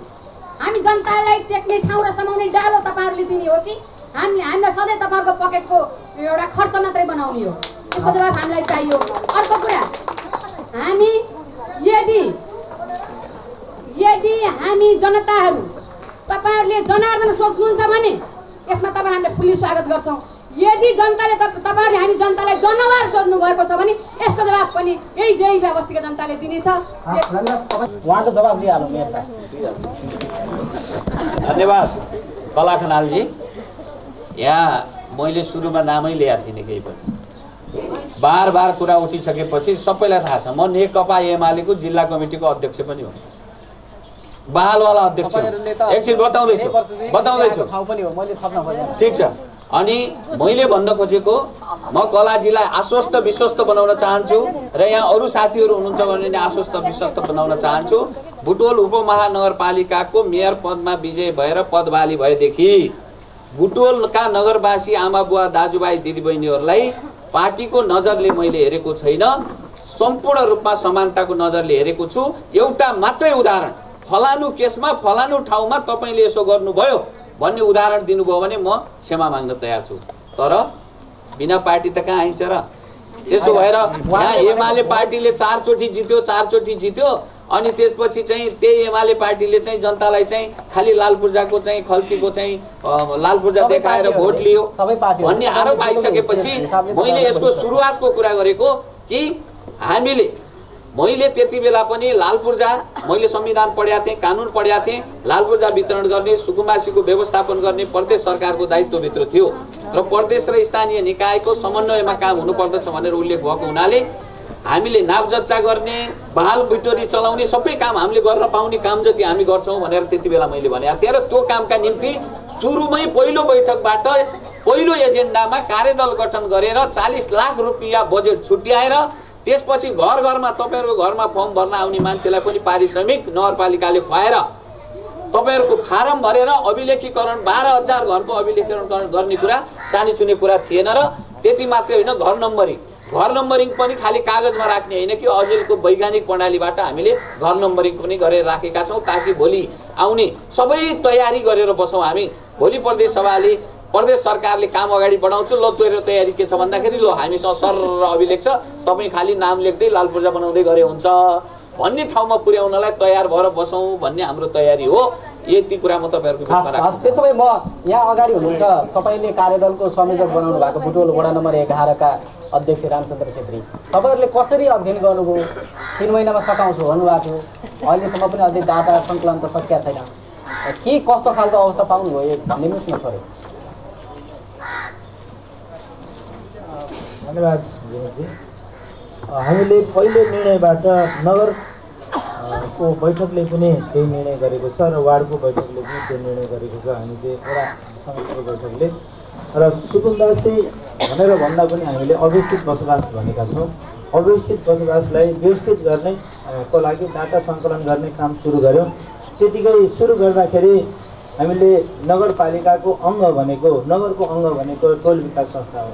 नगरलाई नगरले गठन गरेका टोल विकास संस्था आधिकारिक संस्था हुन्। ती संस्था मार्फतबाट नै हामीले चाहिँ डाटा सङ्कलन गरेका छौँ। हामीले गठन गरेका संस्था नै हामीले आधिकारिक मान्छौँ र उहाँहरूले त्यही किसिमको प्रशिक्षण दिएका छौँ। त्यो सोही अनुसार हामीले डाटा सङ्कलन गरेका छौँ। हाम्रो वार्डमा मात्रै छ हजार तिन सय पन्ध्र नगरभरि बाह्र हजार छन् भनेदेखि चाहिँ हाम्रो वार्डमा मात्रै छ हजार तिन सय पन्ध्र डाटा चाहिँ हामीले चाहिँ सङ्कलन गरेका छौँ। यसलाई डाटा सङ्कलन गर्ने क्रममा कठिनाइ छन्। यहाँ बस्ती विकास समितिका सदस्यहरू अध्यक्षहरू पनि हुनुहोला। यहाँ चाहिँ टोल विकास संस्थाका अध्यक्षहरू पनि हुनुहुन्छ यहाँ आउनुभएको छ। उहाँहरूको साँची राखेरै मैले कुरा गर्छु कि मैले यो चाहिँ पन्ध्र दिनभित्रमा यहाँहरूले यो बुझाउनु पर्छ भन्दाखेरि। त्यही नै समस्याहरू आइरहेको कसको के झगडा के झगडा छ? त्यहाँ एउटा समस्या आइरहेको हुँदाखेरि केही समय बढाउनु पऱ्यो भन्नुभयो। त्यहाँ नै समय समय बढ्दै गयो। बढ्दै जाँदाखेरि अहिले उहाँहरू सबैले आफ्नो डाटा सङ्कलन गरेर बुझाइसक्नु भएको छ। डाटा सङ्कलन डाटा सङ्कलन गरेर बुझाइसक्नु भएको हो त काम सक्यो अब अब डाटा सङ्कलन गर्ने चाहिँ काम छैन। अब हाम्रो काम भनेको चाहिँ अब हायर गर्ने अमिनहरूलाई हायर गर्ने तिनजना अमिन र तिनजना सहायक कर्मचारी हायर गर्नलाई हामीले चाहिँ त्यो सहमति भइसकेको छ। अ, कार्यालयबाट वन विभागबाट सबैको अ, रोहरमा हामीले चाहिँ त्यो गरिसकेका छौँ र तुरुन्तै भोलि बैठक बस्ने कुरा छ त्यसको लागि। त्यो भोलिको बैठकले हामीले त्यसलाई हायर गरेर उहाँहरूलाई पारिश्रमिक दिएर फेरो लाइट किन्न पर्ने ठिकै मेसिनरी किन्ने त्यो किन्ने पनि बुटोला उपमहानगरपालिकाले किनिदिएर यसलाई चाहिँ हामीले प्रत्येक घरको किता नम्बर सहितको प्रमाणीकरण गर्न हामीले चाहिँ बुझाउने हामीले यो चाहिँ योजना बनाएका छौँ। यो निकट भविष्य तुरुन्तै हुन सक्यो। हस् हस् धन्यवाद छ म फेरि प्रश्न अहिलेसम्म खोलामा बस्दा कति दुःख हुन्छ त्यो दुःख ऊ झेल्दै आजसम्म यहाँसम्म आयो र हामीले कति पनि हामी हारिसक्यौँ यही बस्तीबाट र पूर्व साथीहरूले भने जस्तै यो एउटा चुनावको एउटा अखडा जस्तो हुन गएको सत्य हो र आयोग पनि सरकारले खटाएकै हो। आयोगले कसैलाई ऊ दिने त्यो फार्म भर्न दिने कसैले नदिने दिए तापनि पाएछ हामीले ऊ फार्म भर्न पाएन। किन पाएन भन्दाखेरि उहाँ आयोगसित बस- लड्न गएकै हो। किन भन्दाखेरि किन दिनुहुन्न हामीलाई भन्दाखेरि त्यो तपाईँहरू राजपुटाभित्र बस्नुभएको अर्को जग्गालाई अधिकरण गर्न बसेको हुनाले हामीले तपाईँले दिन सक्दैन। भनेर उहाँ ठाट्टै जवाब दिनुभयो अनि म चुप्प लाएर भोटमन्ट फर्काएर म आएँ। र अब हुन त यो दुई हजार उन्साठी सालमा यो मरुभूमि हो एउटा रुख छ यो रुख रोपेको पनि हामीले हो। तपाईँ अहिले छायामा बस्नुभयो यदि यो रुख नभएको भए हामी हामीले पोलेर यति हत्तु हत्तु हुन्थ्यो अहिले बस्नै सकिन्थ्यो अब कोही मान्छे त्यहाँ गएर बस्छु त मैले धन्यवाद पनि दिन्छु। अब रुख चाहिन्छ अरे रुख छारी भएको हामीले रोपेको रुख हो यो रुखलाई रुखले हामीलाई छारी दिएछ अनि एउटा सिद्ध पनि भएर बोल्न पनि सकिहाल्छ र अब उन्सठी सालबाट बस्दाखेरि यहाँ एउटा मरुभूमि हो यो तिनौ खोलाले बगाएको जग्गा हो। यिनले साउहरूले जम्मै माया मारेर हामीले अब यहाँ बस्न लाग्छ भने स्याल आउँछ यहाँ चिसो आउँछ इत्यादि भनेर भागेका हुन्। र हामी आएर बसेपछि अहिले बाहन्न सालमा यही नगरपालिकाले के गर्यो? तिन चार साल सात साल सैतिस सत्ताइस सालदेखि बाहन्न सालसम्म चिरो चलायो। चिरो चलाएर उनीहरूलाई लागु दिने अथवा चिरो चलाएपछि उसको दायित्व भयो। मेरो स्वामित्व कायम गर्यो उनीहरूले अनि त्यसपछि अब अब हामीले के भन्यो भने अब अब अब अहिले स्थानीय हाम्रो मेयर साहबहरू आउनुभएको छ जनप्रतिनिधिहरू आउनुभएको छ। उहाँहरूले पनि त्यो चौपारीमा हामीले लालबट्टा दिन्छौँ भनेर हामीलाई आश्वासन दिनुभयो तर आज नौ महिना पनि भयो तपाईँले पनि भन्नुभयो उहाँले आफैले पनि नौ महिना भयो अब हामीले यो आशा गर्दा आशा खेती गर्दा गर्दा अब फल फले फल्दैन भनेर अब हामी यो जनताले कसरी विश्वास गर्ने एक अर्को कुरा यो राजपूजा नभएको जग्गा पनि छ। एक कुरा हजुर मैले देव साहबलाई म भन्छु। यो लालपुर्जा नभएको जग्गा अन्ठाउन्न सन्ताउन्न यो लालपुर्जै छैन। यिनीहरूले एउटा डाटामा अलिकति नाम भएको हुनाले हामी बसेको ठाउँमा तपाईँको प्रश्न बुझ्नुभयो। अँ, यहाँलाई धन्यवाद छ तपाईँको लाल मैले मैले भन्न पाउनु अलिकति भन्नुभयो अनि यो मौकामा उहाँहरूले हाम्रो मेयर हामी भोट दिएर जिताएको। हामी बोल्न त पायो नि भनेपछि अब अब यो लालपुर्जा नभएको जग्गा हामी उन्साठी सालबाट बसेको। यो यथा जुन बस जो ए, जसको जोत जसको पोत भन्ने नारा पनि हामीले सुनेको र हामी उन्साठी सालबाट बस्छ पन्ध्र वर्ष एउटा रामचन्द्र भगवान् पनि चौध पन्ध्र वर्ष वनवास गरेर फर्केको थिए अब यो के वनवासीहरू नेताहरू वनवास गएका हुन्? नभए हाम्रो लालपुर्जा चाहियो प्रगति नगरबाट चाहिँ नि आएको छु। मेरो प्रश्न चाहिँ नि मेयरज्यूलाई चाहिँ नि म प्रश्न गर्न चाहन्छु। यो विगत धेरै वर्षदेखि विभिन्न दलका नेताहरूले हामीलाई चाहिँ भोट दिएर जिताउनुहोस्। अनि आमा बुवा दाजुभाइ तथा दिदीबहिनीहरू लाल पूर्जा चाहिँ नि हामीलाई जिताएपछि मलाई जिताएपछि लाल पूर्जा चाहिँ सिरानीमा हालेर चाहिँ सक्नुहुनेछ है? भन्दै चाहिँ धाप मार्दै हिँडेका नेताज्यूहरू धेरै पटक चाहिँ नि हाम्रो चाहिँ नि अव्यवस्थित बस्तीबाट चुनाव जितेर चाहिँ नि ठाउँ ठाउँमा चाहिँ नि पुगि पुगिसकेका छन्। त्यस्तै हजुर पनि एउटा चाहिँ नि पुग्नु भएको छ यहाँलाई चाहिँ धन्यवाद दिन चाहन्छु तपाईँ एमालेको भए पनि हामीले चाहिँ नि समग्र पार्टीको चाहिँ नि मेयर भनेर चाहिँ नि मानेका छौँ मानिरहन्छ र एउटा कुरा चाहिँ नि मेयर साहबले के क्लियर गरिदिनु पऱ्यो भने चाहिँ लाल पूर्जाको चाहिँ कुरा गर्दै गर्दा विगतका दिनहरूमा पनि धेरै तपाईँको चाहिँ लाइन लाएर पाँच सौ रुपियाँ चाहिँ तपाईँको चाहिँ एउटा चाहिँ नि सिफारिसको चाहिँ फी तिरेर जनताहरू चाहिँ लामबद्ध भएर बिहान चार बजी उठेर चाहिँ ओडामा गएर डाटा सङ्कलन गरेकै हो लिएकै हो ती त्यो डाटाहरू चाहिँ सङ्कलन गरेका चाहिँ त्यो दस्तावेजहरू चाहिँ कहाँ गए? र अहिले पनि तपाईँको चाहिँ के हो त भन्दा लेटेस्ट तपाईँले चुनाव जितेर गइसकेपछि ती दस्तावेजहरू फेरि कहाँ गए? तपाईँको चाहिँ यो जनताबाट चाहिँ नि तपाईँको चाहिँ यो लगत सङ्कलन भनेर चाहिँ नि अ, कहीँ न कहीँबाट चाहिँ उठाएर लिएर गएका छन्? र म एउटा चाहिँ निवेदन के गर्न चाहन्छु भने यो अलिकता चाहिँ नि तपाईँको चाहिँ नि क्लियर हिसाबले चाहिँ डाटा सङ्कलन भएको छैन। किनभने कुनै पनि चाहिँ सूचना तपाईँको जारी भएको छैन। टोलमा चाहिँ सूचना पुग्नु पर्थ्यो। पत्र पत्रिकामा चाहिँ तपाईँको चाहिँ आउनु पर्थ्यो। अहिले चाहिँ तपाईँका चाहिँ विभिन्न चाहिँ समस्याले यो चाहिँ सुकुम्बासीमा चाहिँ बस्दै गरेका चाहिँ व्यक्तिहरू अलिकता बुझ्नेहरू पनि चाहिँ नि जाहिरको सिलसिलामा चाहिँ कहीँ कतै बाहिर गएका भए पनि तिनीहरू चाहिँ आएर चाहिँ भर्न पाउँथे। र लगभग तपाईँको चाहिँ एक दिन तथ्याङ्क त्यहाँनिर चाहिँ नि अँ, त्यो सङ्कलन हुन्थ्यो होला। र त्यो मलाई जहाँसम्म मलाई लाग्छ त्यो जहाँनिर चाहिँ अहिले चाहिँ तपाईँको चाहिँ त्यहाँनिर चाहिँ त्यो जम्मा भएको छ लगत सङ्कलन भएको छ ओडामा त्यो चाहिँ के अरे चाहिँ एकिन हिसाबमा त्यो हन्ड्रेड पर्सेन्ट चाहिँ त्यति नै हो भन्ने चाहिँ त्यो छैन जस्तो मलाई लाग्छ र अर्को कुरा तपाईँको चाहिँ नि यो गाउँको सरकारले एउटा चाहिँ आयोग गठन गरेको चाहिँ नि छ सबै जिल्लाहरूमा ककाका जिल्लामा चाहिँ गरेको छ आयोग गठन गरेको छ जहाँसम्म हामीले बुझेको चाहिँ नि आयोग सुकुम्बासी आयोग भन्दा अहिले बस्ती व्यवस्थापन आयोग भनेर चाहिँ यो नामाकरण भएको रहेछ त्यो चाहिँ एउटा चाहिँ हाम्रो जिल्लामा पनि चाहिँ नि गठन गरेर नेपाल सरकारले चाहिँ नि खटाइसकेको छ हामीले अहिलेसम्म चाहिँ बुझेको कुरा अनि चाहिँ अहिले चाहिँ नि उहाँहरूले चाहिँ केही गतिविधिहरू चाहिँ गर्न खोजिरहनु भएको छ मैले यसो चाहिँ बुझ्दाखेरि कहिले काहीँ पत्रिकाहरूमा पनि आइरहेको छ र यो चाहिँ नि तपाईँको क्लियर के गरिदिनु पऱ्यो भने यो चाहिँ जति पनि हामी चाहिँ एघार नम्बरका चाहिँ बासिन्दाहरू छौँ अव्यवस्थित बसोबासमा बस्ने अनि यहाँ चाहिँ पार्टीकरणका चाहिँ कुराहरू चाहिँ भित्री हिसाबमा त्यो चलिरहेको छ। के छ भने ने, यो चाहिँ नेपाल सरकारमा चाहिँ तपाईँको सम्बन्धित निकायमा जुनसुकै अघि मेयर साहबले पनि भन्नुभएको छ कुनै पनि पार्टीमा चाहिँ आबद्ध भएर त्यो ठाउँमा चाहिँ पुग्ने हो। त्यस्तै जस्तो चाहिँ अहिले चाहिँ हरिबहादुर आचार्यज्यू चाहिँ हाम्रो चाहिँ आयोगको जिल्ला आयोगको चाहिँ अध्यक्षज्यू उहाँ हुनुहुन्छ। त्यो सुकुम्बासी आयोगको चाहिँ अध्यक्ष उहाँ भएर आएपछि उहाँ चाहिँ वैधानिक हो कि होइन? यदि उहाँ वैधानिक हो भने तपाईँको यो स्थानीय सरकारले चाहिँ त्यो आयोगलाई सहयोग गर्छ कि गर्दैन यो कुरा क्लियर गरिदिनु। धन्यवाद छ म अब जवाफ दिन चाहन्छु म मेयर साहबज्यू यो ठ्याक्कै मिति चाहियो हामीलाई कहिले हामीले लाल पूर्जा पाउँछौँ भन्नुभएको छ। धेरैको प्रश्न त्यही नै छ। ठिक छ।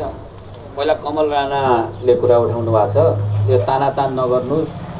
यो अव्यवस्थित बसोबासमा रहनुभएका आर्थिक रूपमा पनि पछाडि पर्नुभएका भेकी हिसाबले नि पछाडि पर्नुभएका जनतालाई सधैँ खेलाउन बनाउने काम गर्नु भएन समस्या समाधान गरेर आफ्नो खुट्टा उभिने बनाउने भयो भने स्वाभिमानी हुन्छन् भनेर भन्नुभएको छ। एकदम त्यो कुरा हो।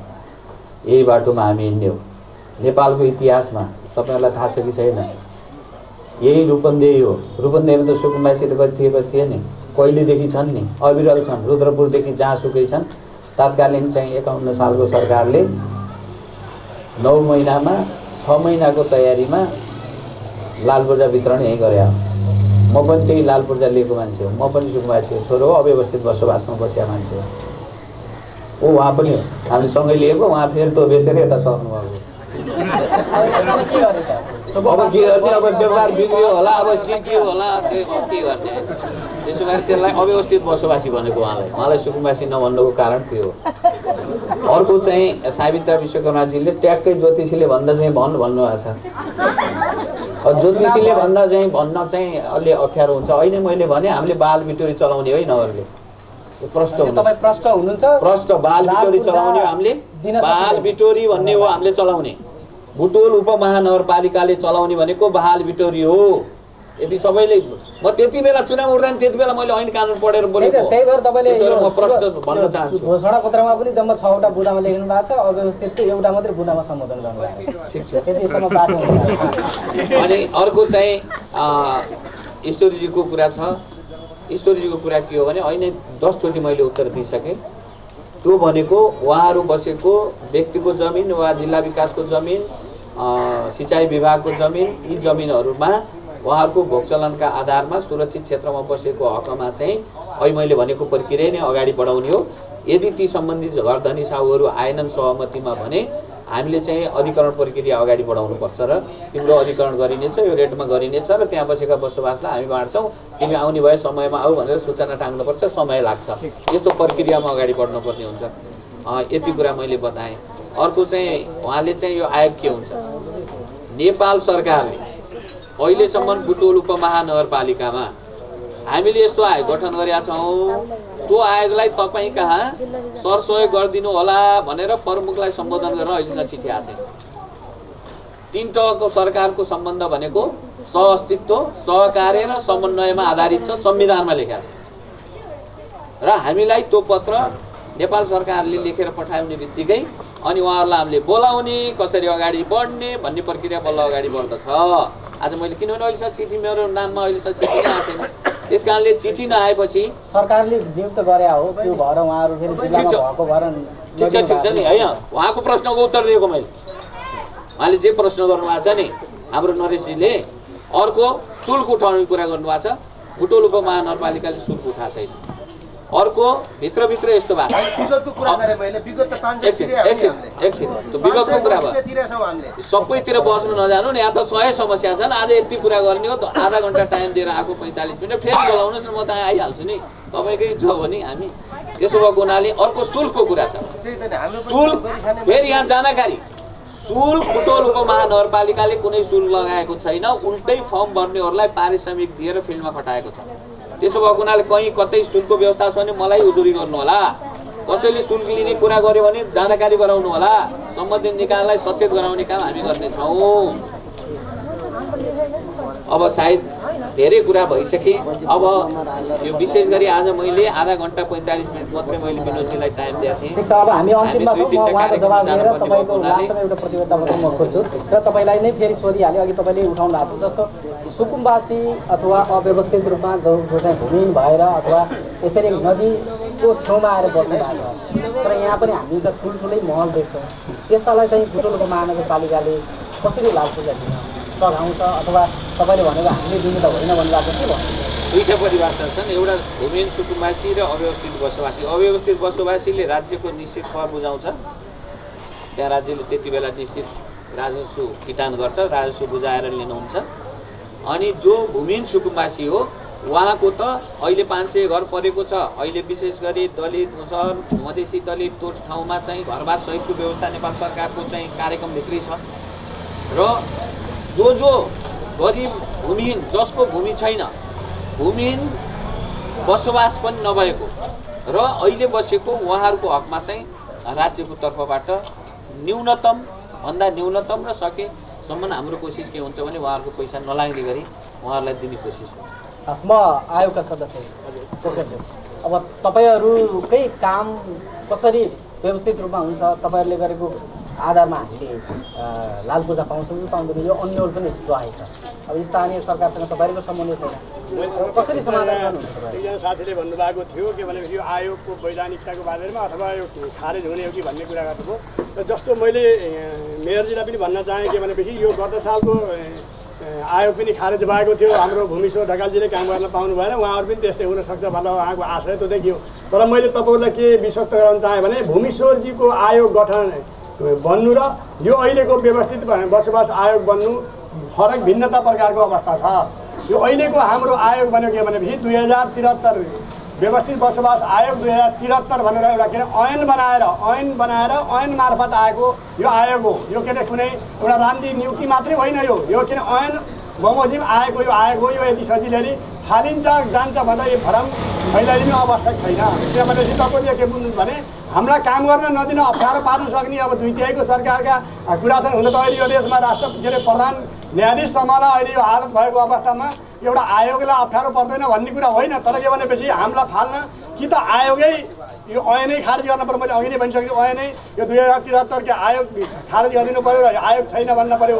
होइन भने यो आयोग खारेज नगरेसम्म हामीलाई फाल्न मिल्दैन र हामीलाई काम गर्न रोक्न मिल्दैन। हामीलाई के भनेपछि एउटा बजेट नआउन सक्छ। यो सरकारले अघिल्लो सरकारले नियुक्ति गरेका व्यक्ति हुने नि यिनीहरूले काम गर्यो भने अघिल्लो सरकारले जस दिन्छ तर यिनीहरूलाई हामीले के अरे रकम नपठाएर दुःख दिउँ भन्न सक्छ। तर हामी रकमको अभावमा तपाईँको काम गर्न छोड्नेवाला छैनौँ।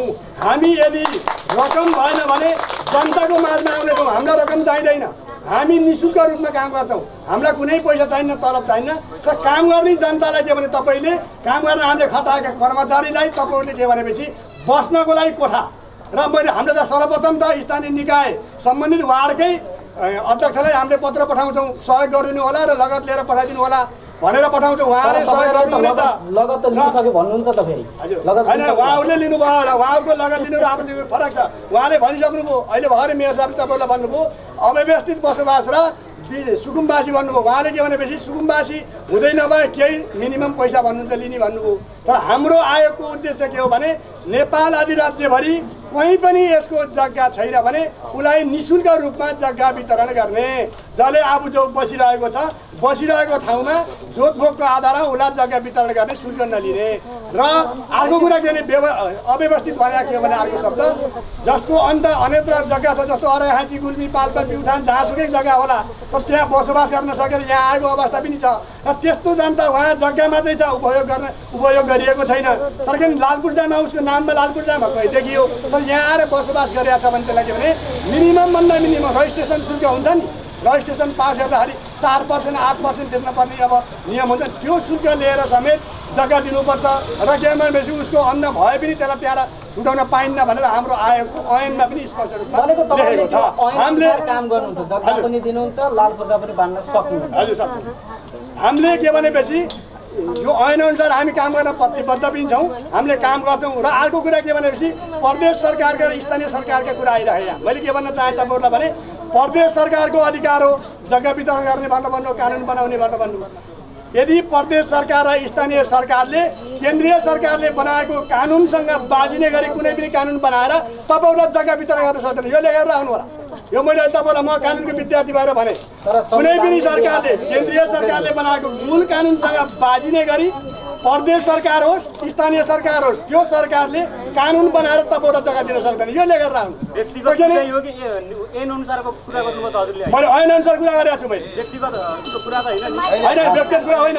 तपाईँले यहाँ कानुनका विद्यार्थी पनि हुनुहुन्छ होला सर कानुनको विद्यार्थी मैले सरलाई राम्रै चिन्छु हजुर तर तपाईँले संविधानलाई कुण्ठित गर्ने भाषा प्रयोग गर्नु होइन संविधानको होइन तपाईँले के सुन्नुहोस् भने कुनै पनि ऐनसँग बाजिने गरी स्थानीय निकायले तपाईँले सोध्नु मलाई होइन तपाईँले अहिले स्थानीय निकायलाई सोध्नुहोस् प्रदेश सरकारलाई बोलाएर सोध्नुहोस् केन्द्रीय सरकारले बनाएको मूल कानुनसँग गरी कुनै पनि कानुन बनाउन पाउँदैन त्यो कानुन बनायो भने अनम अमान्य हुन्छ।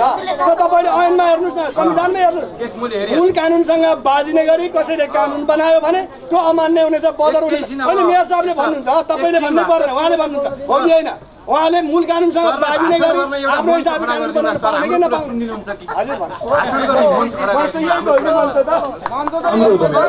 सरलाई मैले एउटा मात्र अनुरोध एकैछिन मैले अनुरोध गर्न खोजेँ हो। मेरो अत्यन्तै हितैसी मित्र हुनुहुन्छ पोखरेलजी है सहपाठी हुनुहुन्छ। मैले देखेको संविधानको अनुसूचीको कर्म सङ्ख्या चौध। सरले पढ्नु भएको छ चौधले जग्गा धनी प्रमाण पूर्जा स्थानीय निकायलाई दिने अधिकार दिएको छ। यता आयोगले गर्दा स्थानीय निकायको अधिकार कुण्ठी टुनी बाझिनी र उल्झनमा पर्ने देखिन्छ। एक समस्या यो देखेँ है हामी गर्छौँ भन्ने राम्रो सकारात्मक सन्देश हो। गर्छौँ भनेर खेलो गर्नु चाहिँ बेठिको भन्ने मलाई लाग्यो है। खेलोको हो एकैछिन। कुरा मैले सोध्न खोजेको। टुक्कन दिइहाल्छौँ तपाईँ पिरै नमान्नुहोस् डेढ महिना भन्नुभयो। तपाईँ कानुनको विद्यार्थी नागरिकको अधिकार कुण्ठित हुने भाषा बोल्न मिल्ने हो? कोही व्यक्तिको स्वामित्वको जग्गा छ। त्यो स्वामित्वको जग्गालाई कुनै व्यक्तिलाई हक कायम गराउनका लागि नियम सङ्गत प्रक्रियाहरू हुन्छन्। होइन र सर त्यो प्रक्रियामा सिधै टुक्कन दिँदा त्यहाँनिर फेरि बाजिने हो कि हामी टुक्कन लिएर गोजीमा बस्ने अनि तपाईँको पूर्जा आउने त कुरो छोडिदिउँ टुक्कन गोजीको गोजी भएर मर्ने हो कि भने हस् हस् हस् धन्यवाद छ बलरामजीले भनेको कुरा म एकदम सहज स्वीकार गर्छु। उहाँ साथी मेरो पनि सहपाठी हो। उहाँ कानुन पढाए हुनाले उहाँले कानुनको कुरा गर्नु तपाईँले कानुन पढाए व्यक्तिले त्यो संविधान अनुसूची पढ्नु भएको छ नि। त्यो अनुसूचीमा लास्टमा हेर्नुहोस् न तपाईँले। मूल कानुनसँग बाजिने गरी कसैले कानुन बनाउन पाउने छैन। बनाएमा बनाएको हदसम्म खारेज हुनेछ। वरिष्ठले मूल कानुन बनाएको त केन्द्रीय संविधान हो। संविधानसँग बाजिने गरी जब हामीलाई संविधान प्रदत्त अधिकार के भने संविधानबाटै संविधान अनुसार हामी आयोग गठन गरेर हामी आएका छौँ भने हाम्रो आयोगलाई खारेज नगरिकन अर्को कुनै पनि प्रदेश र स्थानीय सरकारले कानुन बनायो भने त्यो मान्य हुँदैन भन्ने कुरा मात्रै हो मेरो। अन्य त केही होइन। तपाईँको जग्गा तपाईँ कोही कसैको आमा बस्नु भएको छ भने पनि हामीले अर्काको जग्गा बाँड्दै हिँड्ने अवस्था होइन।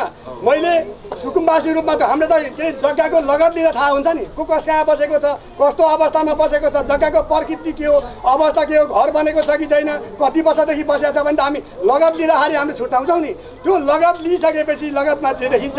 त्यो अनुसार कसैको लालपुर्जै हो भने त हामीले लालपुर्जा सिधै जाने अधिकार छैन।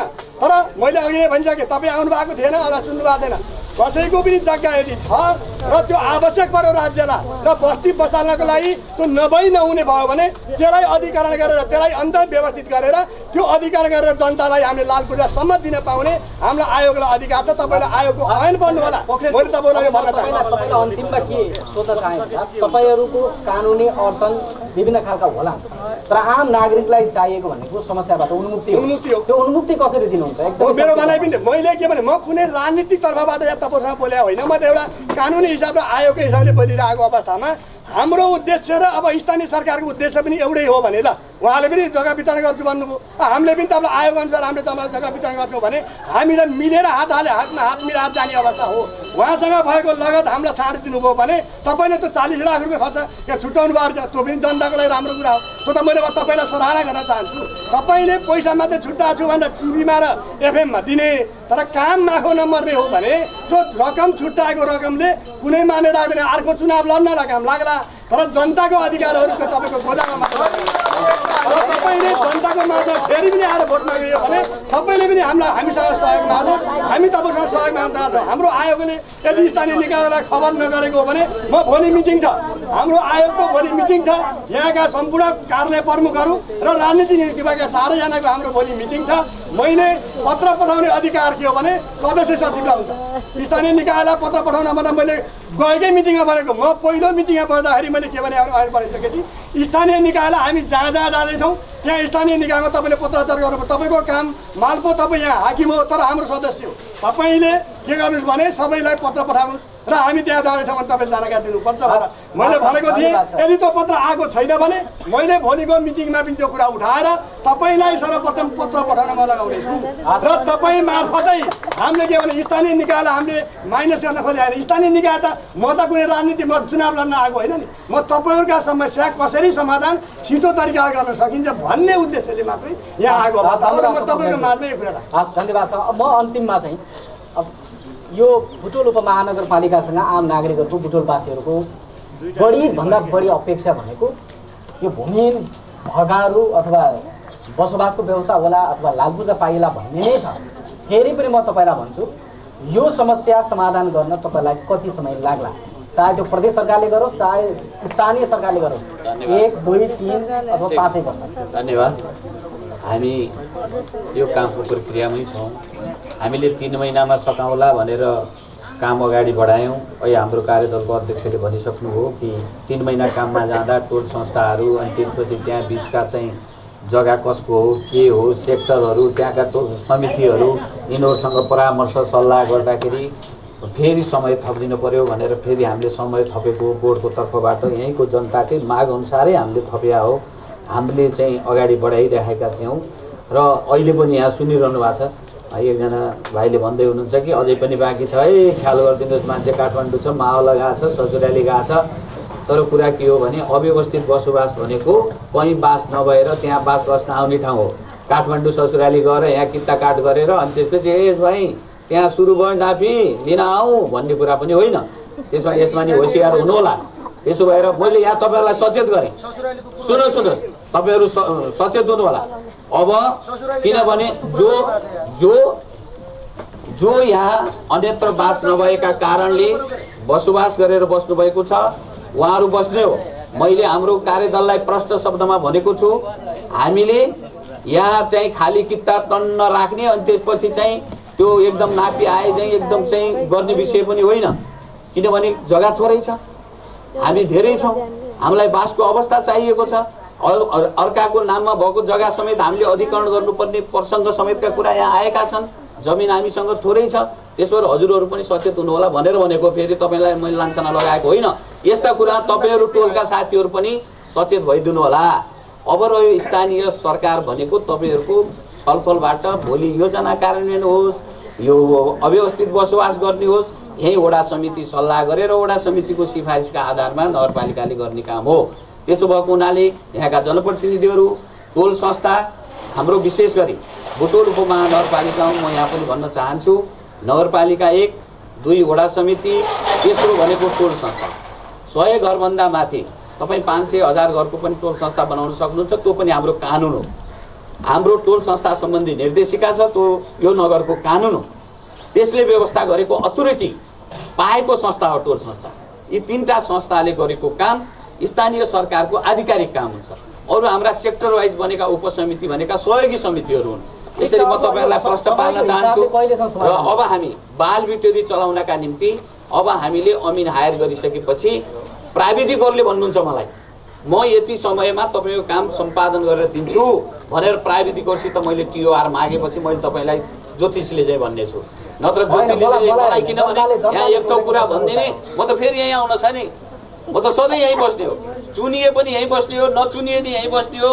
म जिन्दाको जन्ती मर्दाको मलामी हुँ। त्यसो भएर म सँगै बस्ने भएर कुनै बाहिरबाट आएको एउटा मन्त्री नेताले चाहिँ यहाँ बाचा गरे चाहिँ गर्नुपर्ने जरुरी छैन मैले। त्यसो भएर हाम्रो प्राविधिक।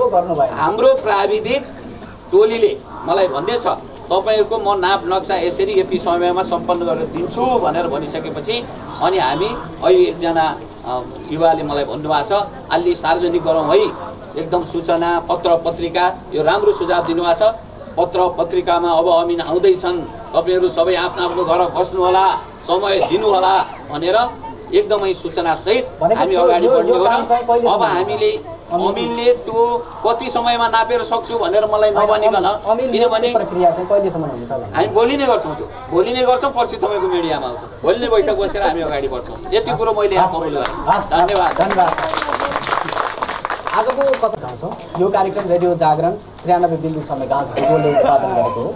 कार्यक्रम कचहरी रेडियो जागरण त्रियानब्बे बिन्दु छ मेगाहजमा हरेक हप्ताको बुधबार बिहान आठ बजे पुनः प्रसारण बिहिबार दिउँसो एक बजे र आइतबार राति बिबिसी नेपाली सेवा पश्चात सुन्न सक्नुहुन्छ। यसै गरेर बुद्ध सामुदायिक टेलिभिजनमा पनि यहाँले यो कार्यक्रम हेर्न सक्नुहुन्छ। आजको कार्यक्रमको बारेमा सल्लाह सुझाव भएको खण्डमा यहाँले हामीलाई खबर गर्न सक्नुहुन्छ। रेडियो जागरण त्रियानब्बे बिन्दु मेगाहज भुटोल नौ कालिका नगर रूपन्दै अथवा हामीलाई आरएडिआइओ जेएजिएआरएन radio Jagran at the rate Gmail dot कम अथवा केएसिएचएएचएआरआई कचहरी two thousand twelve at the rate Gmail dot कममा इमेल गर्न सक्नुहुन्छ भने हामीलाई शून्य एकहत्तर चार अडतिस शून्य अडसट्ठीमा फोन गरेर पनि प्रतिक्रिया दिन सक्नुहुन्छ। आजको कार्यक्रममा सहभागी भइदिनु भएकोमा बुटोल उपमहानगरपालिकाका प्रमुख शिवराज सुवेदी जिल्ला व्यवस्थित बसोबास आय रूपन्देहीका सदस्य कृष्ण पोखरेल। अनि यो कार्यक्रममा सहभागी हुनुभएका सम्पूर्ण श्रोता दर्शक यहाँका सर्वसाधारण नागरिकहरूलाई धेरै धेरै धन्यवाद दिँदै आजको यो कार्यक्रमबाट हामी सबैलाई बिदा दिनुहोस्। नमस्कार।